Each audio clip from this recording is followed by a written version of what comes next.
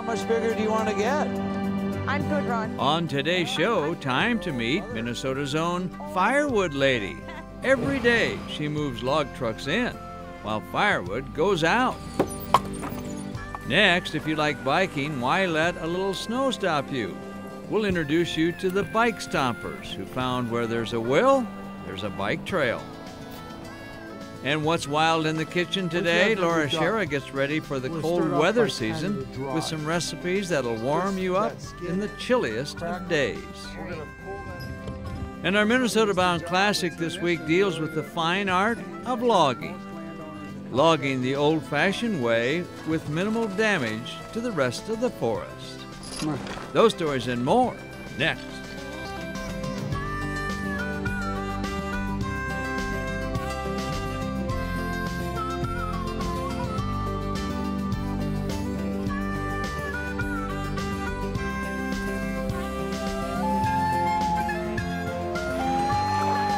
Minnesota Bound. Brought to you by Minnesota's Select GMC dealers. Hi, everybody. Raven and I welcome you to the show. Well, it's beginning to feel like fireplace season, right? Which means firewood, which brings up our first story. Chances are the firewood that you have comes from, guess, the firewood lady. If you've ever put another log on the fire, Take a look at your load. then it's time you meet Angie Nelson. We'll probably take that other half a birch that you got. She is Minnesota's firewood lady. Do you burn wood yourself? Oh, absolutely, Ron. yes. Not just wintertime, All of this wood that you see across just this side right here all the time. is 1,100 cord. We ship this five times what you see here. Every we year. ship out of here every year. How much bigger do you want to get? I'm good, Ron. Oh. I'm, I'm good. Every day, 24 7. I don't I don't miss a day here in my wood yard. Angie is CEO of JN Firewood Incorporated in rural Fort Ripley, Minnesota. Are there bigger wood companies than you? Firewood companies? Oh, sure there is. there? Not in Minnesota, no. Job description How are you? Pretty good. Wood Traffic Manager, Wood Cutting Superintendent for 12 employees, So I do all the bookwork here, Company Accountant, but I do it at nights. Mother of two school aged boys, How do you find time to play the role of mother? Oh, I do. Yeah. and business partner That's your husband, Joe, On the skid steer, yes. with her husband of 13 years, Is he a good worker? Joe Nelson. Um, yeah. On a recent winter day at company headquarters, it seemed like rush hour for logging trucks. Load after load, log after log stacked into piles. Nearby, nifty machines, methodically and in minutes, turn tree trunks into neatly cut and split firewood. Very impressive, especially if you've ever tried splitting an oak tree on your own. Is this all Minnesota wood? No, it is not. Your basic woods that grow here would be your maples, birch, um, red oaks, white oaks, things like that. We also do have the pinyon pines, the alligator junipers, mesquites, pecans. Um, those are all trucked up full semi-loads to us by log form. And From where? um, that all comes up out of Texas, New Mexico, Arizona, places like that. The variety of wood satisfies their customers, ranging from Twin Cities restaurants needing wood for cooking pits to convenience stores who sell wood bundles to residential homes with fireplaces. Without her here, it wouldn't be this big. and that's the truth, too. Yeah. You know, because I couldn't do it all. Husband Joe, however, is the family's entrepreneur. About 16, uh, started with a pickup truck He started a firewood business as a teenager, to make extra money, uh, delivering it, selling it. growing up in Fort Ripley. You know, uh, it was a hard way to do it back then. Uh, it's changed a lot now. What happens in this uh, silvery building? One key to their success That there is a kiln dry. happens in this building. Kiln dried heat treat certified firewood, what it is, it has to go into a kiln. Uh, and it's got to get heat treated at, at the center core. It has to stay at 140 degrees at center core for, uh, I do believe, 12 hours. It's got to, at the center core, which takes time. The high heat kills insects and diseases, meaning the wood is approved for shipping anywhere outside of Minnesota. I know we've shipped wood to Hawaii and stuff like that, but foreign, I, I mean, we get calls all the time, you know, to go to different, to go to different countries. You know, just like our birch. I mean, our, the Minnesota birch, we ship it all over, a lot to the East Coast. I mean, we'll probably ship approximately three to four semi-loads a week out there. The East Coast demand for white birch got a boost in December of 2011 It's, it started with a phone call, like anybody else would call and order wood. when the Wall Street Journal ran a story about holiday gift ideas, including Minnesota Yule logs from Angie. We got a phone call from one of our clients in Minneapolis, and he called and said, You wouldn't even believe it. You guys are in the Wall Street Journal. I thought he was full of BS. I'm like, Yeah, whatever. right. Why do they want white paper birch? Because of the romantic, the fragrance, the smell, the pretty blue flame. Coming up, we'll introduce you to the bike stompers. Yes, they stomp in the snow for fun. Can you believe it? Minnesota Bound, brought to you by Minnesota's select GMC dealers. Seven Clans Casino. And by Connecticut.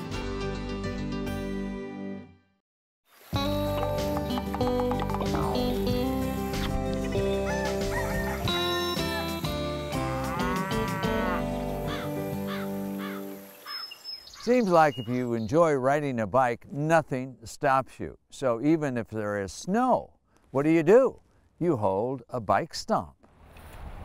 Turn on the lights, oh, yeah, look at that.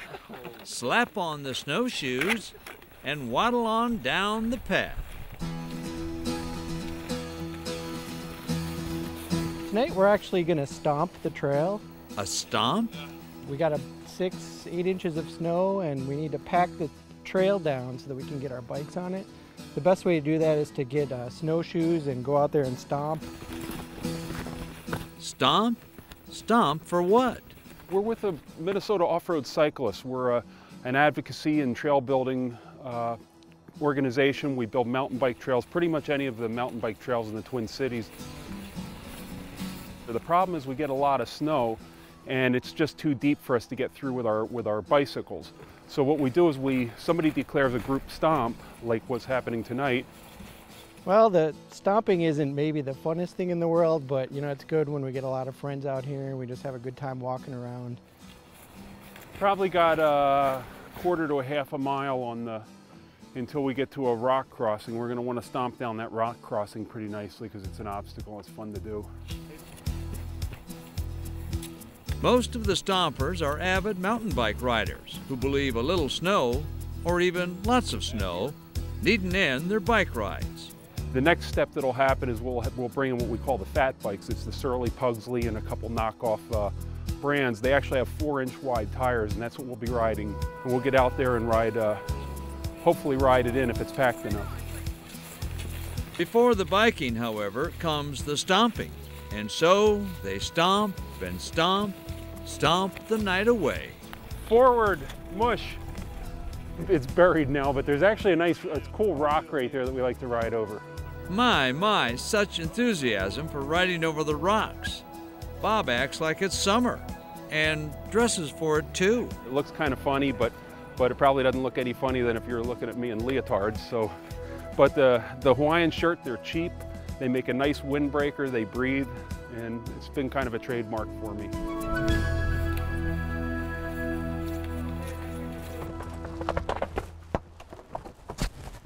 This is a Surly Pugsley.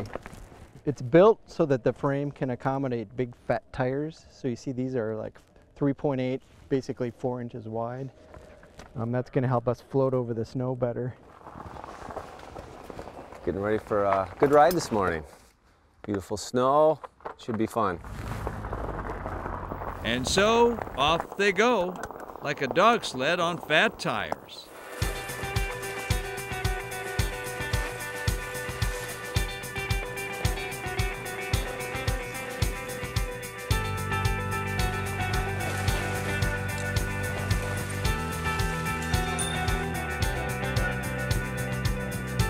I like the challenge. The snow, it changes every time you ride. There's something different. The trail just kind of, you know, becomes slippery one time, grippy one time. The obstacles get covered or partially covered. So it's always kind of a, an adaptive trail. You never know what you're going to get.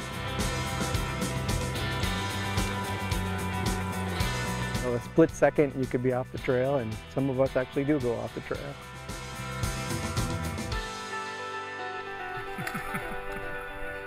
You know, I think a big part of it's the camaraderie with your friends. You know, we're each kind of egging each other on and pushing each other to see what we can do out here, and you know that that's a that's a big part of it for me.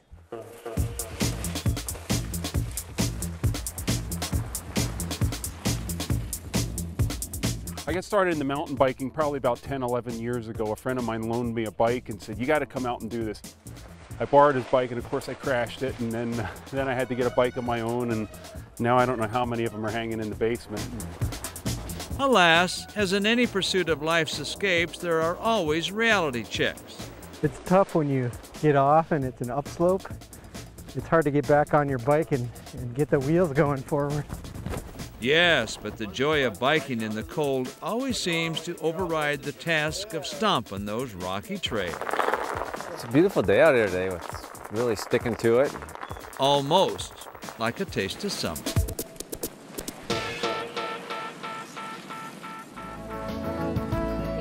fall harvest. Up next. Laura I'm Schara gets wild in the kitchen with another tried and true recipe. Don't miss good eating. Also get a nice sauce. Minnesota Bound is brought to you by Ellsworth Creamery and by Ice Force, proven hard water gear.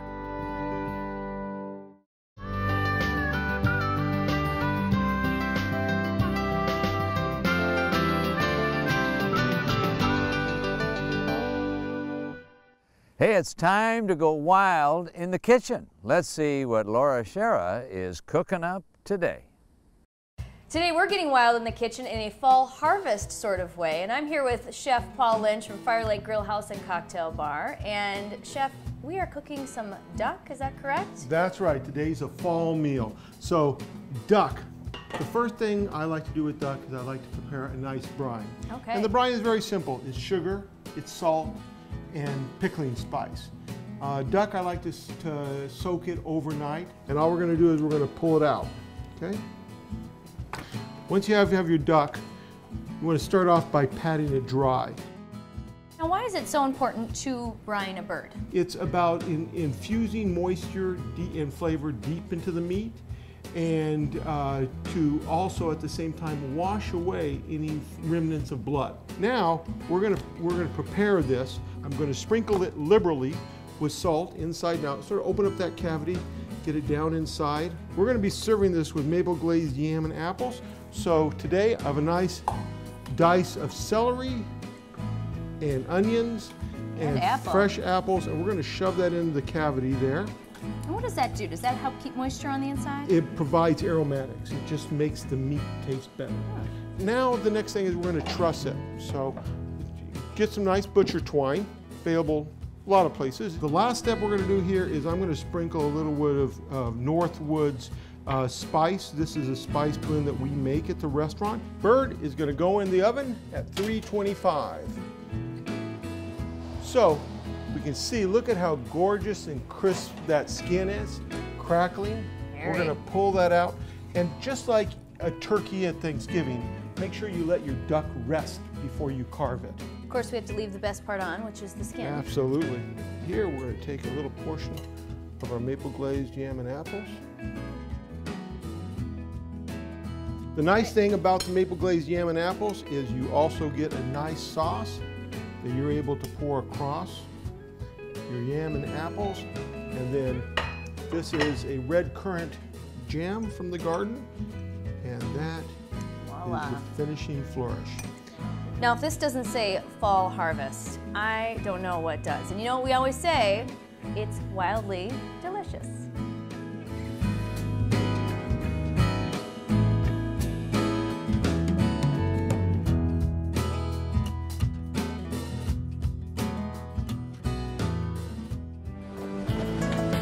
Still ahead, the joys of logging the old fashioned way. Giddy up, giddy up. Minnesota Bound, brought to you by Hennepin County Medical Center, Minnesota Agricultural Water Resources Coalition, Minnesota soybean farmers and their checkoff, and by Smude Oil Company.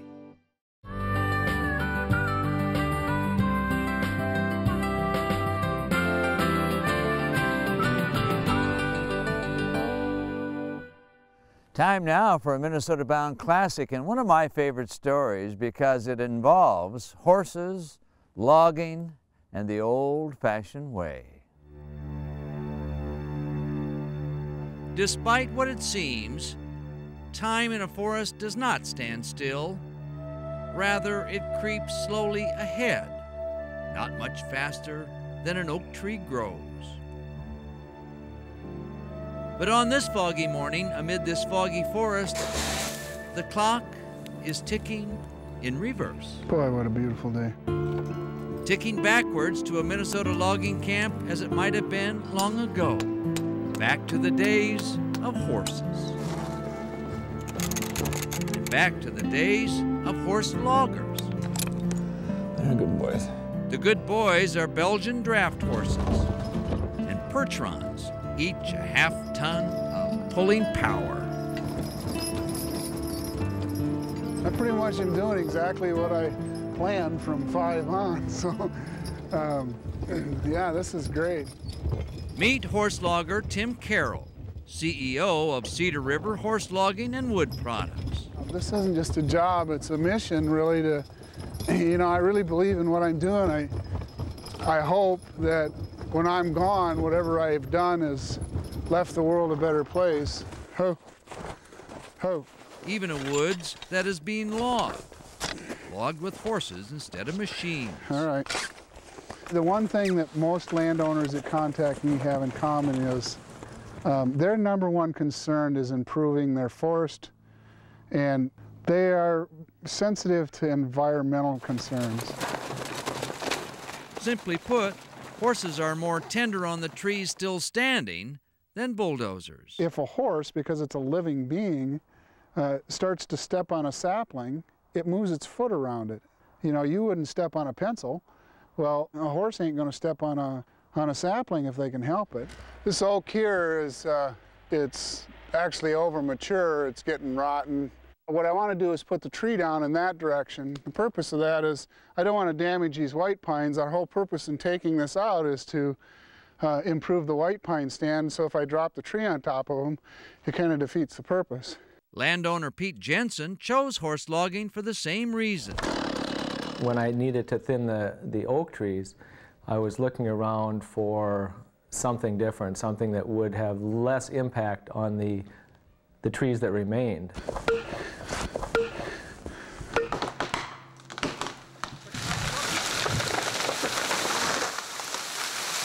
Dropping a big oak tree is only the beginning. Smells good. After lunchtime, a bowl of stew cooked outside the old-fashioned way, Tim Carroll and hired hand Kurt Arner begin another process as old as log houses. Again, horses have a job to do, bringing logs to the mills, where the fallen trees are shaped for a purpose. In this case, we're cutting beams for timber framing. All the construction here is oak. Yeah, it'll be around a lot longer than I will. Whether it's in horse logging or timber framing or a lot of our traditional things that we did in the past, uh, the skills that we've had are being lost and, and uh, it just amazes me what people knew 100 years ago that maybe we've forgotten. It's very satisfying to me to have my customers know where the tree came from uh, and, and they have a direct connection to it. Homes and furniture and warmth. Some of us tend to forget where it all comes from. And when another tree must fall, the horse logger goes forth as a team to take what they must while leaving the forest in good health, untrampled, unscarred. I love working with animals and I love being in the woods and I can't think of anything better to do. Hard to believe that perhaps all of the logging at one time in Minnesota was done just that way. Well, that about does it for us. Remember, introduce a kid to the great outdoors. I'm Ron Schara, and of course, the star of the show, and a little antsy today, is Raven. Behave. Transportation provided by Premier Transportation. Call 1 800 899 7433.